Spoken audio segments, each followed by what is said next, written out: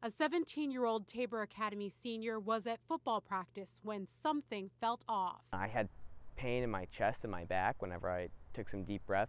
He would have chalked it up to a hot day on the gridiron. Right now it's at 87, which is normal.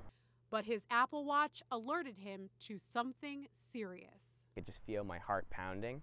And so after practice, I went and, and took a nap. My heart rate was still at like 145 that I noticed on my Apple Watch. The Apple Watch takes your resting heart rate about every few minutes or so. So right now I can tell that my resting heart rate is normal for me. Paul knew there was a problem when his resting heart rate was more than double his average. Paul went to the hospital where he learned he had heart, liver, and kidney failure, which could have been fatal if not for his watch. Just grateful that he's healthy. I can remember when the Apple Watch was coming out, and I said, okay, there's no way I'm ever buying one.